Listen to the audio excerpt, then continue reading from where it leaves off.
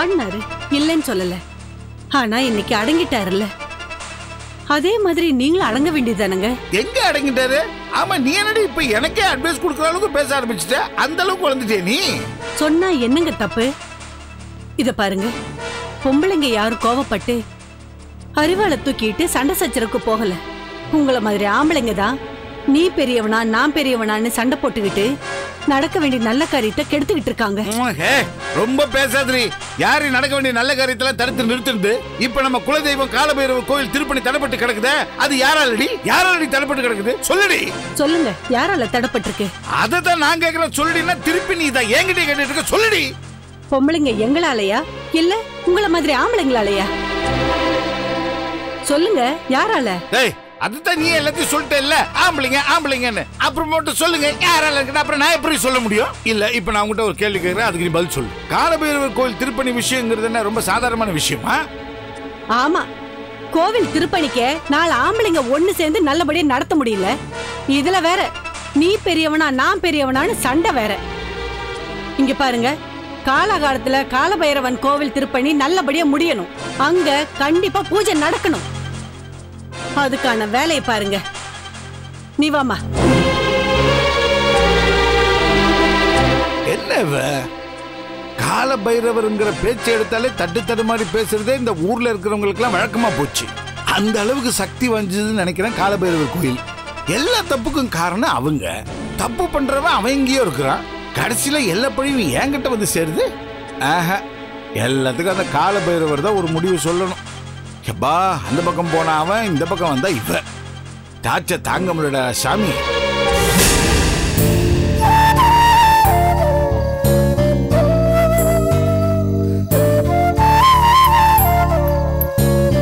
Sir என் மானத்தையும் உயிரையும் காப்பாத்திக்க உங்ககிட்ட அடைக்கலம் கேட்டு வந்தேன். ஆனா இப்போ நீங்க உங்க குடும்ப வாழ்க்கையை சிதைச்சிட்டு இப்படி மனசு உடைஞ்சு உட்கார்ந்துட்டு இருக்கீங்களே? இல்ல கீதாஞ்சலி. என் மனைவி என்னை விட்டு பிரிஞ்சு போனதுக்கு நீதான் காரணம்னு நீ நினைக்கிற. ஆனா நான் அப்படி நினைக்கல. சார் நீங்க அப்படி நினைக்காதது உங்க பெருந்தன்மை சார். இல்லம்மா அதுதான் உண்மை. எது சார் உண்மை? நம்ம ரெண்டு பேரையும் தப்பா நினைச்சிட்டு உங்க மனைவி கோச்சிட்டு போனாங்களே அதை மறந்துட்டீங்களா? அதை எப்படிம்மா மறக்க முடியும்? என் வாழ்க்கையில நடந்த கொடுமையான விபத்து அது. என்னால எப்படி அதை மறக்க முடியும்?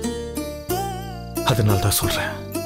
என் மனைவி என்னை விட்டு பிரிஞ்சு போனதுக்கு காரணம் நீ இல்ல. அவளோட தவறான சந்தேகம் தான் காரணம்.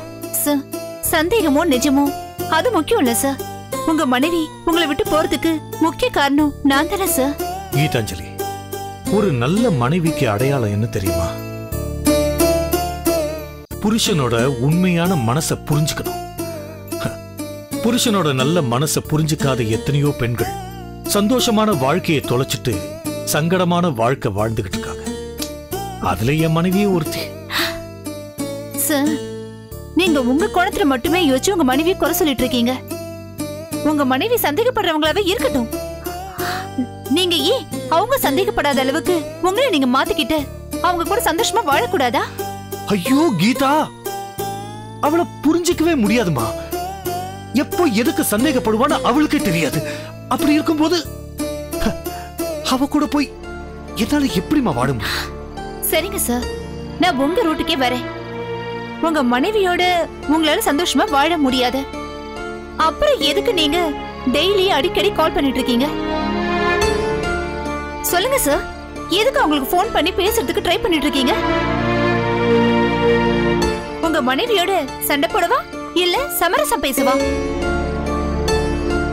ஏன் சார் உங்களை நீங்களே ஏமாத்திக்கிறீங்க?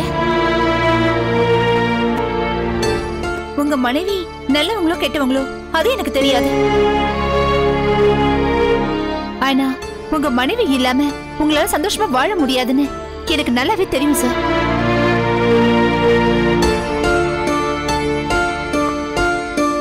சார் என்னால உங்க மனைவி மட்டும் நீங்க இழக்கல. நீங்க கஷ்டப்பட்டு சம்பாதிச்சு வச்ச உங்க கனவு இல்லத்தையே இழந்துட்டீங்க. என்னை விட்டு என் வீடு போனதுக்கு காரணம் நீன்னு நினைக்கிறது உன் முட்டாள்தனம். அதுக்கு முழுக்க முழுக்க காரணம் நாமா எனக்கு கடன் கொடுத்தவனுக்கு நம்பிக்கையா இருக்கணுமேனு பவர் ஆஃப் அட்டானி கொடுத்தேன். ஹ, அவன் புத்திசாலித்தனமா அதை மிஸ்யூஸ் பண்ணி என்னை ஏமாத்திட்டான். சார் நீங்க கடன் கொடுத்தவனுக்கு என்னைக்கோ பவர் ஆஃப் பட்டனை கொடுத்துட்டீங்க. அன்னைக்கு ஏமாத்தாதவன் இன்னைக்கு ஏமாத்துறானா அதுக்கு என்ன சார் அர்த்தம்? எல்லாம் என் கெட்ட நேரம் தான் சார் ஓங்கி அரைஞ்சனா? எப்ப பாரு உன் கெட்ட நேரத்தினால தான் நான் பாதிக்கப்பட்டேன்னு. வாயில வேணாம் கீதா. சொல்லிட்டேன். நான் இன்னொரு தடவை சொல்லக்கூடாதுன்னா உங்க மனைவி கிட்ட என்ன கூட்டிட்டு போங்க. நீங்க என்ன கூட்டிட்டு போலனா நான் இப்படியே தான் சொல்லிட்டே இருப்பேன். இதுக்காக நீங்க என்ன அடிச்சாலும் பரவாயில்ல. கீதாஞ்சலி புரிஞ்சுதான் பேசுறியா? இல்ல புரிஞ்சும் புரியாத மாதிரி பேசுறியா? புரிஞ்சுக்கிட்டு தான் சார் பேசுறேன். என்ன பேசுற நீ? கற்பகம் முன் கோபத்திலயும் அவசர புத்திலயும் ரெண்டு பக்குன்னா அவ அண்ணன் தர்மலிங்க ஏழு மடக்கு. அவரை பத்தி எதுவும் தெரியாம பேசிட்டு இருக்க? கற்பகம் கோவத்துல போய் அவர்கிட்ட என்ன சொன்னாலும் அந்த எம்எல்ஏ உண்மையிலே பயங்கர கோவத்துல இருப்பான். இந்த சமயத்துல நானும் நீயும் கற்பகத்தை பார்க்க ஊருக்கு போனோம். அங்க என்ன நடக்கும்னு என்னால நினைச்சு கூட பார்க்க முடியல. சார் ஒரு விஷயத்த மட்டும் நினைச்சு பாருங்க. உங்க மேல உங்க மனைவி பயங்கரமான கோவத்துல இருக்காங்கன்னு மட்டும் எனக்கு நல்லா தெரியும். அப்படி அவங்க கோவமா இருக்கிறதால தான் நீங்க ஒவ்வொரு தடவை கால் பண்ணும்போதும் அவங்க மொபைலை சுவிட்ச் ஆஃப் பண்ணி வச்சிடுறாங்க. இப்படியே இருந்தா எதுவும் நடக்க போறது இல்ல சார் எப்பேற்பட்ட மனுஷனா இருந்தாலும் பேசுற விதத்துல பேசினா புரிய வச்சிடலாம் சார் உங்க மேல எந்த தப்பும் இல்லைன்னு என்னால நிரூபிக்க முடியும் சார் எனக்கு அந்த நம்பிக்கை இருக்கு. எனக்கு ஒரே ஒரு சான்ஸ் கொடுங்க சார் ப்ளீஸ் சார் இல்ல கீதாஞ்சலி நான் என்ன சொல்ல வரேன்னு ஞானகுமாரா கீதாஞ்சலி சொல்றதுதான் சரின்னு என் மனசுக்கு படுது. இத பார் நீங்க பேசிக்கிட்டு இருந்ததெல்லாம் நான் கேட்டுக்கிட்டு தான் இருந்தேன். சினிமால நாம பண்ணாத முயற்சியா நீங்க இப்ப பண்ண போறீங்க? டேய் சினிமால எத்தனையோ தோல்விகளை நாம சந்திச்சிருக்கோம். அதுக்காக சோர்வடைஞ்சா போயிட்டோம். இல்லையே வாய்ப்பு கதவுகளை தட்டி நம்ம லட்சியத்தை நோக்கி போய்கிட்டு தானே இருக்கோம்? முயற்சி முழு வெற்றி இதுதானடா நம்ம வாழ்க்கையினுடைய தாரக மந்திரம். இதையே நீ உன் லைஃப்ல அப்ளை பண்ணி பார்க்க கூடாது சொல்றதுதான் சரி அங்கிள் கீதாஞ்சலி அக்காவை நீங்க ஊருக்கு கூட்டிட்டு போங்க அங்கிள் அப்பதான் பல உண்மைகள் எல்லாம் வெளியில வரும்.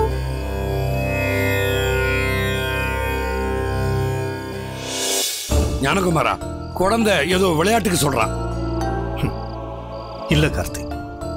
குழந்தையும் தெய்வமும் ஒண்ணுன்னு சொல்லுவாங்க.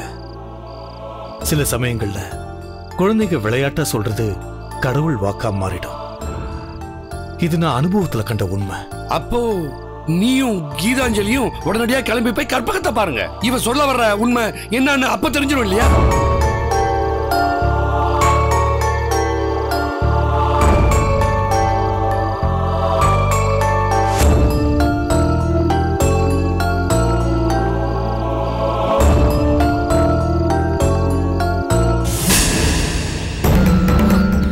இந்த மனுஷன் இன்னும் ஆளை காணமே.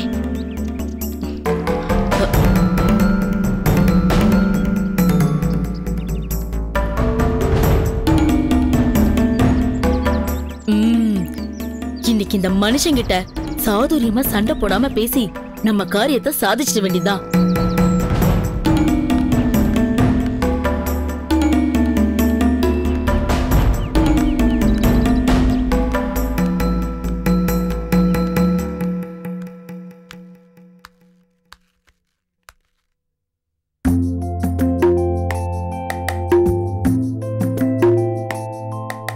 வந்துட்டீங்களா?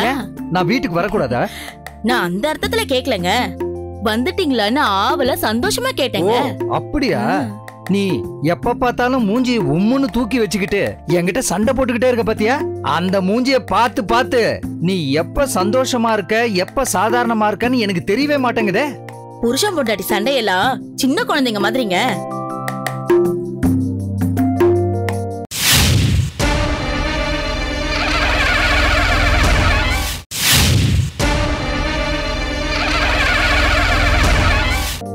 ஒருத்தருக்கு ஒருத்தர் அடிச்சுப்பாங்க. உடனே அதை மறந்துட்டு சிரிச்சு விளையாடுவாங்க. புருஷன் பொண்டாட்டி சண்டைனா பசங்க சண்டை மாதிரியா? இத புரிஞ்சுக்கிறதுக்கு எனக்கு இத்தனை வருஷமாச்சு. காலபைரவா உனக்கு தாம்பா வெளிச்சம். ஏங்க நீங்க காலையில வெளியில போகும்போது புதுசா பூத்த மல்லிகைப்பூ மாதிரி போனீங்க. இப்ப திரும்பி வரும்போது வாடி வதங்க ரோசாப்பூ மாதிரி வரீங்களே. இன்னைக்கு அலைச்சல் அதிகங்களா? வெளியில இருந்து தானே வர மழை ஒண்ணும் பெய்யற மாதிரி இல்லையே. உதாரணம்லாம் சொல்லி பேசிக்கிட்டு இருக்க? என்னாச்சு உனக்கு? நல்லா தானே இருக்க? உடம்புக்கு ஒண்ணுக்கு ஒண்ணும் இல்லையே. கல்லு மாதிரி புருஷன் இருக்கும்போது எனக்கு என்னங்க குறைச்சலு? நான் நல்லா தானே இருக்கேன். சரி சட்டையெல்லாம் கழட்டிட்டு கை கால் அனுப்பிட்டு வாங்க. உங்களுக்கு பிடிச்ச பொரியல் கூட்டு சாம்பார் எல்லாமே சமைச்சு வச்சிருக்கேன். வெளியில போனா நீங்க எங்கேயுமே சாப்பிடுறது இல்ல வாங்க சாப்பிடலாம். ஒரு நிமிஷம். நீ எதையோ என்கிட்ட எதிர்பார்க்கற. அது மட்டும் நல்லா தெரியுது. அதெல்லாம் ஒண்ணு இல்லைங்க. முதல்ல வந்து சாப்பிடுங்க. நீ என்னமோ என்கிட்ட பேச நினைக்கிற. அது முதல்ல என்னன்னு சொல்லு அப்புறமா சாப்பிடுற. முதல்ல சாப்பிடுங்க அப்புறம் ஆறாமற பேசலாம். பரவாயில்ல கமலம். வெளியில இருந்து வந்த களைப்புல கொஞ்ச நேரம் கழிச்சு சாப்பிட்டுக்கலாமே. இப்ப சொல்லு உனக்கு என்ன பிரச்சனை? வேற ஒண்ணு இல்லைங்க. நம்ம ராமசாமில ராமசாமி. ஆமா அவனுக்கு என்ன? அவன் நல்லா தானே இருந்தான்? அவருக்கு ஒண்ணு இல்ல. அவர் விஷயமா தான் பேசலான்னு. என்ன கமலம் தயங்குற? நான் உன் புருஷன் தான் என்கிட்ட என்ன தயக்கம்? தைரியமா சொல்லு. அது வந்துங்க அம்மா அப்பா தான் சொல்லுன்னு சொல்றாருல்ல. அப்புறம் ஏமா தயங்குறீங்க? சொல்லுங்க. நீங்க தான் நம்ம பைரவபுரத்துல தொடர்ந்து பஞ்சாயத்து தலைவரா இருக்கீங்க. ஆமா இருக்கேன். என்ன இப்ப அதுக்கு? இப்படி குறுக்க குறுக்க பேச வந்தா என்னால எப்படிங்க சொல்ல வந்ததை சொல்ல முடியும்? எதுவா இருந்தாலும் தேங்காய் மாதிரி பட்டு பட்டுன்னு போட்டு உடைப்ப. என்னாச்சு இன்னைக்கு உனக்கு? இந்த ஊரை பொறுத்த வரைக்கும் ரோடு போடுறது பாலம் கட்டுறது பள்ளிக்கூடம் ஹாஸ்பிட்டல்னு எது கட்டினாலும் உங்க அனுமதி இல்லாம எதுவும் நடக்காது. எல்லாமே உங்க பொறுப்புல தான் நடக்கும். ஏன்னா நீங்க தான் இந்த ஊருக்கு தலைவர். ராமசாமியோட அப்பா காலத்துல இருந்து நேத்து வரைக்கும் நம்ம ஊர்ல கட்டுற கட்டடமா இருக்கட்டும் போடுற ரோடா இருக்கட்டும் எதுவா இருந்தாலும் அந்த குடும்பம் தான் கவர்மெண்ட் கான்ட்ராக்ட் எடுத்து வேலை செஞ்சுட்டு வராங்க. தலைவர்ன்ற முறையில நீங்க தான் அந்த குடும்பத்துக்கு சிபாரிசு பண்ணிட்டு இருக்கீங்க. இப்ப திடீர்னு வேற ஒரு புது கான்ட்ராக்டருக்கு பள்ளிக்கூடம் கட்ட சிபாரிசு பண்ணிருக்கீங்க. அது ஏங்க? கவர்மெண்ட் கான்ட்ராக்ட்னா சாமியார் மடமோ இல்ல ஊர் பரம்பரை பதவியோ கிடையாது. காக்கா ஓக்கற பணமழம் விழுந்த மாதிரி கவர்மெண்ட் கான்ட்ராக்ட கொடுக்க முடியாதுமா? அப்பா நல்லா சொன்னீங்க அம்மாவுக்கு உரைக்கிற மாதிரி. ஏய் பெரியவங்க பேசும்போது நீ ஏண்டி குறுக்க வந்த? ஏய் பொண்ணு மேல ஏன் கோவப்படுற? ஏன் உங்க பொண்ணு மேல கோவப்பட்டு எனக்கு என்னங்க ஆக போகுது? நீ கோவப்பட்டு என் பொண்ணை திட்டி என் பொண்ணுக்கு ஒண்ணு ஆக போறதில்லைன்னு எனக்கு தெரியும். அது மட்டும் இல்லாம நீ கோவப்படுற காரணமும் எனக்கு தெரியும். அப்பா அம்மா ஒன்றும் வம்ச வாரிசுக்கு ஏன் கான்ட்ராக்ட் கொடுக்கலன்னு கேட்கல இத்தனை வருஷமா கான்ட்ராக்ட் எடுத்து வேலை பார்த்துட்டு ராமசாமிக்கு ஏன் கான்ட்ராக்ட் கொடுக்கலன்னு அம்மா கேட்குறாங்க ஓ கதை அப்படி போகுதா? கவர்மெண்ட் பொது நலத்துக்கு செலவு பண்ற பணம் மக்களுடைய வரி பணம். அதை முறையாக செலவு பண்ணணும். ஒழுங்கா வேலை பார்க்கணும். ராமசாமி கான்ட்ராக்ட் எடுத்து கட்டுற கட்டடத்துல எதுவுமே தரமா இல்லை. அதனால தான் அவனுக்கு இந்த முறை நான் கான்ட்ராக்டே கொடுக்கல. நம்ம ஊரில் இப்போ பள்ளிக்கூடம் கட்டுற கான்ட்ராக்டர்காரரு நம்ம ஊருக்கு வேணால் புதுசாக இருக்கலாம். அவர் பல ஊரில் கவர்மெண்ட் கான்ட்ராக்ட் எடுத்து தரமா வேலை பார்த்தவர். அதனால தான் அவருக்கு பள்ளிக்கூடம் கட்டுற கான்ட்ராக்டை நான் கொடுத்தேன். ஆமா நல்லா கொடுத்தீங்க. நம்ம ஊருக்காரருக்கு கான்ட்ராக்ட் கொடுக்காம யாரோ முன்ன பின்ன தெரியாத வெளியூர்காரருக்கு கான்ட்ராக்ட் கொடுப்பாங்களா? அப்ப நம்ம ஊர்க்காரங்களுக்கு என்ன மரியாதை இருக்கு? நல்லது நடக்க. வெளியூருக்காரங்க உள்ளூருக்காரங்கன்ற பாகுபாடெல்லாம் எங்கிட்ட கிடையாது. ஆமா இப்படி வக்கனையா மட்டும் பேசுங்க. சம்பாதிக்கிறதுக்கு ஒரு துப்பையும் காணோம். பேருக்கு தான் நிரந்தர ஊராட்சி மன்ற தலைவர். இது வரைக்கும் என்ன சம்பாதிச்சு வச்சீங்க? நல்ல பேரை சம்பாதிச்சு வச்சிருக்கேன்ல அது போதாதா? ஆமா இத வச்சு பெருமை பிதிக்க வேண்டியதுதான் பொழைக்க தெரியாத மனுஷனா இருந்து என்ன பிரயோஜனம்? ஏம்மா கமலம் அந்த ராமசாமி உனக்கும் உன் பையனுக்கும் லஞ்ச பணமா எவ்வளவு தரேன்னு சொன்னா?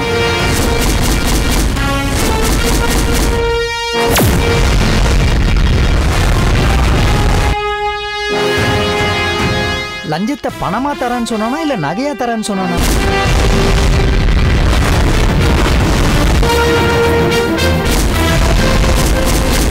பட்டு புடவை பைக்குன்னு வாங்கி தரேன்னு சொன்னானா? இல்ல காராவே வாங்கி தரேன்னு சொன்னானா?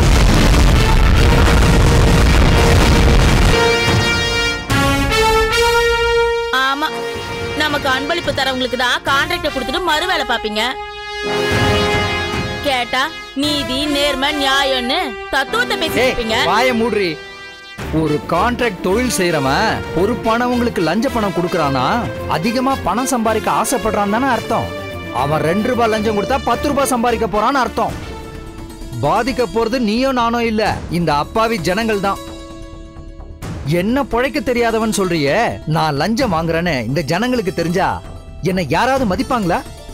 நம்ம நல்ல பேரையும் மதிப்பையும் கெடுக்கிற அந்த லஞ்ச பணம் நமக்கு தேவையா? இது உனக்கு அசிங்கமா தெரியல? உன் கூட்டு களவாணி கொள்ளையில உன் பையனையும் கூட்டு சேர்த்துக்கிட்டியா நீ? அப்பா நல்லா சொன்னீங்க. இவங்க ரெண்டு பேரும் உங்க பேரை கெடுக்காம இருக்கவே மாட்டாங்க. மதுபாலா நீ ரொம்ப அதிகமா பேசிட்டு இருக்க. யாரடி அதிகமா பேசுறது? நீ ஏன் என் பொண்ணா? நீ அதிகமா மட்டும் பேசலடி. அதிகமாவே நீங்க ரெண்டு பேரும் அடுத்தவங்க மனத்துக்கு ஆசைப்பட ஆரம்பிச்சிட்டீங்க. வீட்டு பிரச்சனையில மட்டும்தான் உங்க தலையீடு இருக்கணும். பொது பிரச்சனையில தலையிட்டீங்க நான் மனுஷனாவே இருக்க மாட்டேன். இப்ப சொல்றேன் கேட்டுக்குங்க. ஒழுங்கு மரியாதையா இருந்துக்குங்க.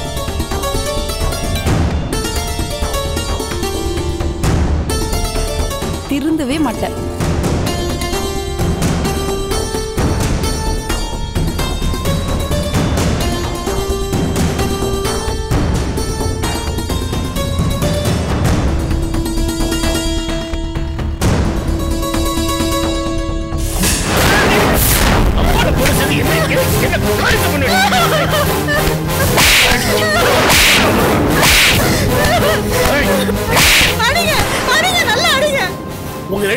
எவ்வளவு துணிச்சல் இருந்தா இப்படிப்பட்ட காரியத்தை என்கிட்ட மறைப்பீங்க?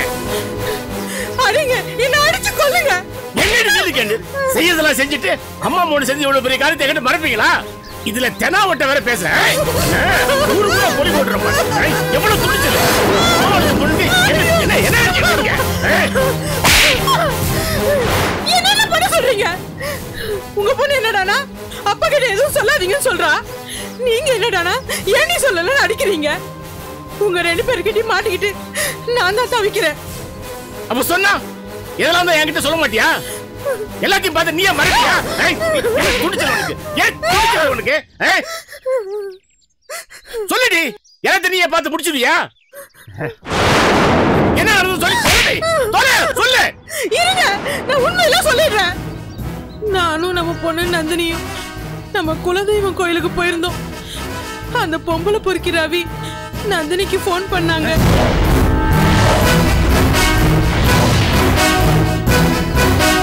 அவன் ஃபோன்ல என்ன சொன்னான்னு தெரியலங்க. நம்ம பொண்ணு கோவில்ல இருந்து கிளம்பி போயிட்டாங்க. நான் கூட வரேன்னு சொன்னேன். ஆனா அவ கேட்கவே இல்லை. அந்த ரவிக்கு நானே ஒரு முடிவு கட்டிட்டு வரேன்னு. அவன் டார்ச்சருக்கு ஒரு முடிவு கட்டிட்டு வரேன்னு அவளே கிளம்பி போயிட்டாங்க. அந்த ரவியை பார்த்துட்டு வீட்டுக்கு வந்தவன். என்கிட்ட எதுவுமே பேசாம அவ ரூம்ல போய் படுத்துட்டாங்க. என்னடா இவ? அந்த ரவியை பார்க்க போனவ? பேசிட்டு வந்துட்டு நம்ம கிட்ட ஒரு வார்த்தை கூட பேசாம போயிட்டாளேன்னு. என்ன சொன்னா ஏது சொன்னான்னு? அவ ரூம்ல போய் கேட்கலான்னு உள்ள போய் காலையில இருந்து சாப்பிடலையே. சாப்பிட வாடின்னு கூப்பிட்டேன். எனக்கு பசி இல்ல. சாப்பாடு வேண்டாம்னு சொன்னான் எனக்கு அப்பவே சந்தேகம் வந்துருச்சு. ஒரு நேரம் கூட சாப்பிடலன்னா பசி தாங்க மாட்டாளே இவ. இன்னைக்கு என்னமோ புதுசா சாப்பாடு வேணாம்னு சொல்றாளேன்னு. அவளை கேள்வி மேல கேள்வி கேட்டேங்க.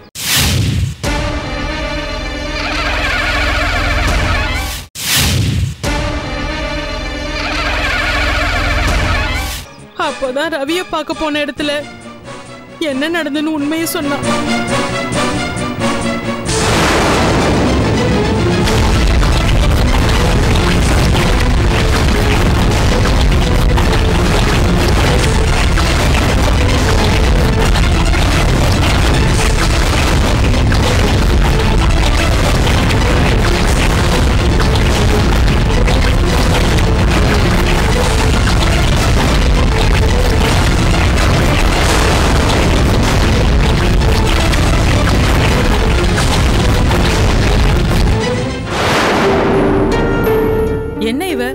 ரவிய பார்க்க போறேன்னா ஒண்ணுமே பேசாம மேல போய் உட்காந்துட்டா? ஏதோ பிரச்சனை போல இருக்கு.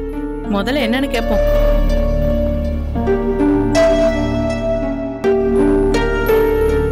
நந்தினி? ஏய் நந்தினி. அம்மா. என்னடி ஆச்சு பேய் அறிஞ்ச மாதிரி உட்காந்துட்டு இருக்க ஒண்ணு இல்லம்மா. சும்மா தான் உட்காந்துருக்கேன். ஓ சரி. என்ன சொன்னா அந்த அரலூசு வேற என்னம்மா சொல்லுவான்? அவன் எப்பயும் சொல்ற அதே சொல்றான் தெரியாம தான் கேக்குறேன் அந்த ரவி சொன்னான்னு அவ்வளவு அவசரமா போனியே என்னடி ஆச்சு? இப்படி அவன் ஃபோன் பண்ணது உடனே நீ போறதுனால தான் அந்த ரவி உனக்கு விருப்பம் இல்லைன்னு சொல்லியும் கூட உன்னை லவ் பண்றான்னு டார்ச்சர் பண்ணிக்கிட்டு இருக்கான். வேற என்னம்மா பண்றது? அவனை ஒரு நல்ல ஃப்ரெண்டா நினைச்சு நான் பழகுனேன். நீ ஃப்ரெண்டா தான் பழகுன ஆனா அவன் அப்படி பழகலையே. விடுங்கம்மா. இனிமேல் அவனால எந்த பிரச்சனையும் வராது. என்னமோம்மா எனக்கு என்னமோ இது நல்லதா படல. சரி சாப்பிடவா இல்லம்மா நீங்க போய் சாப்பிடுங்க. என்னடி எங்கேயா வெளியே சாப்பிட்டு வந்துட்டியா? அப்படிலாம் எதுவும் இல்லம்மா. பசிக்கல. பசி இல்லையா? ஒருவேளை கூட பசி தாங்க மாட்டேன். ஏற்கனவே காலையில வேற சாப்பிடல கோயிலுக்கு போயிட்டு வந்ததால. என்னடி ஆச்சு உனக்கு? அப்படிலாம் எதுவும் இல்லம்மா. கொஞ்சம் டயர்டா இருக்கு. ரூம்ல போய் ரெஸ்ட் எடுக்கிறேம்மா. ஏய் உட்காரடி. ஏய் உண்மை சொல்லி. ரவிய பார்க்க போனல அங்க என்ன நடந்தது?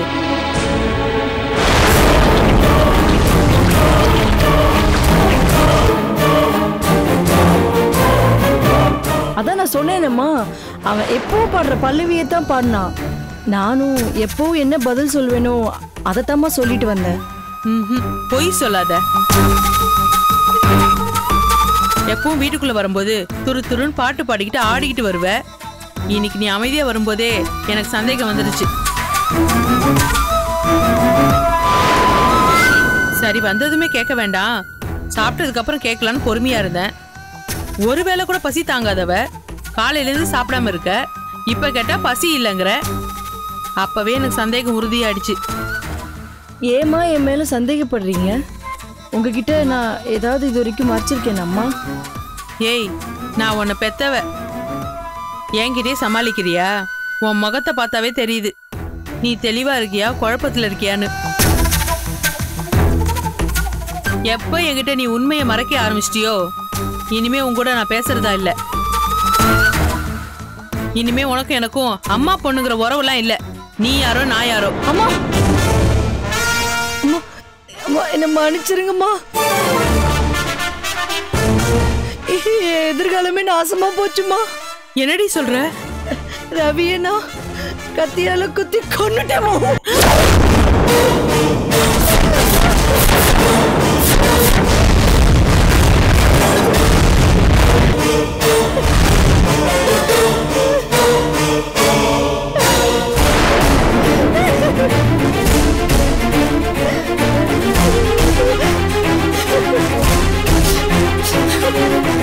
கொலை பண்ணிட்டியா? ஆமாம்மா. கொலை பண்ற அளவுக்கு என்னடி பண்ணிட்டான்? அம்மா அவன் என்ன தனியா கூப்பிட்டு.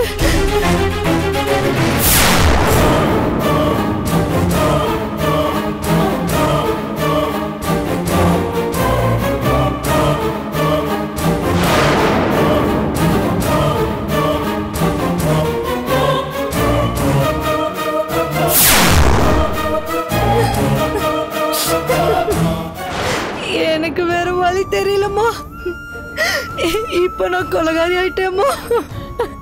நான் அப்பவே சொன்னேன். என் பேச்ச நீ கேட்டியா? நானும் கூட வந்திருந்தா இப்படி ஒரு சம்பவம் நடந்திருக்குமா? இல்ல நீ தான் கொலை பண்ணிருப்பியா?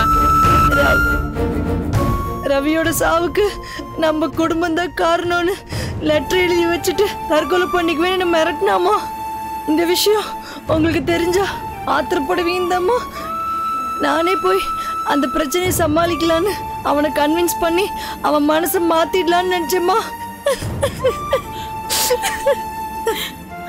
சரி. நடந்ததை பத்தி பேசி பிரயோஜனம் இல்ல. இனிமே என்ன நடக்க போகுதுங்கிறத யோசிப்போம். அவன் பண்ண தப்புக்கு நீ பண்ணது ஒண்ணும் தப்பே இல்லை. நீ கொலகாரின்னு போலீஸ்ல மாட்டி ஜெயிலுக்கு மட்டும் போவே கூடாது. நீ ஜெயிலுக்கு போனா நம்ம குடும்ப மானமே போயிடும். இது எப்படியும் போலீஸுக்கு தெரியுதாம்மா போகுது. அப்ப நான் ஜெயிலுக்கு போய் தானேமா ஆகணும்? ரவி செத்தது மத்தவங்களுக்கு தெரிஞ்சாதானே?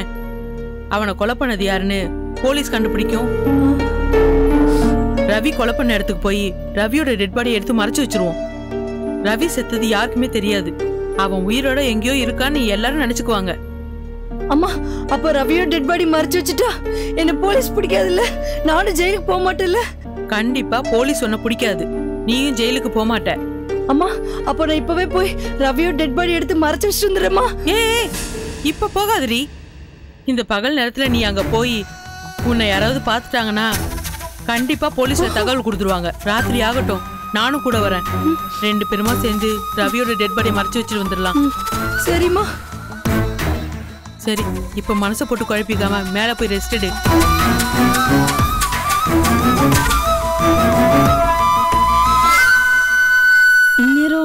ரவியோ டெட் பாடி யாரோ பார்த்துருந்தாங்கன்னா ஏதாவது பிரச்சனை ஆயிடுமே. அதோட அம்மாவும் பாவம். அவங்கள இந்த கொலையில் சம்மந்தப்படுத்த வேண்டாம்.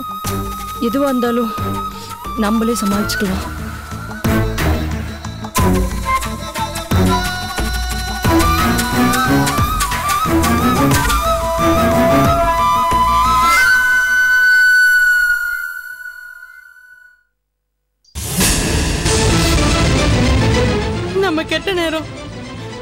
பொண்ணு கொலை பண்ற அளவுக்கு போயிட்டாங்க.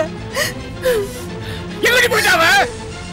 உங்களுக்கு பயந்துகிட்டு ரூம்லயே அழுதுட்டு படுத்துட்டு இருக்காங்க. என்னங்க? ஏற்கனவே அவ கொலை பண்ணிட்டு பயந்துகிட்டு அழுதுகிட்டு இருக்காங்க. நீங்க வேற அடிச்சு அடிச்சு அவளால தாங்கவே முடியாதுங்க. உங்களுக்கு அடிக்கணும்னு ஆசை வந்தா என்ன அடிச்சு கொல்லுங்க? என் பொண்ணு ஒண்ணும் பண்ணாதீங்க. ப்ளீஸுங்க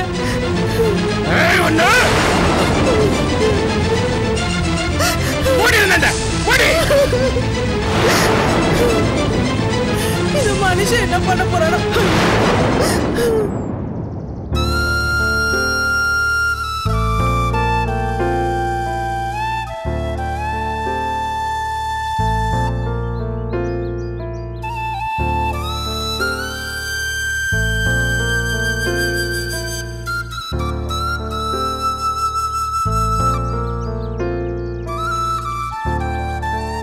ஏங்க வேதநாய்க்கு ஸ்கூல் லீவ் முடிய போகுது. எப்பங்க அவளை ஊட்டி கூட்டிட்டு போய் ஸ்கூல் ஹாஸ்டல்ல விட போறீங்க?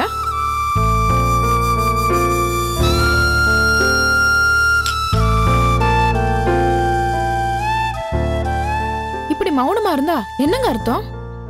டிக்கெட் ரிசர்வ் பண்ணிட்டீங்களா?